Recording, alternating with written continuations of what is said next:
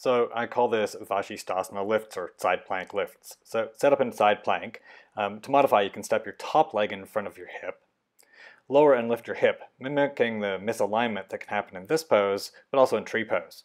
Engage your butt muscles on the back and side of the lower pelvis to help lift your pelvis up and use them to also control the dip.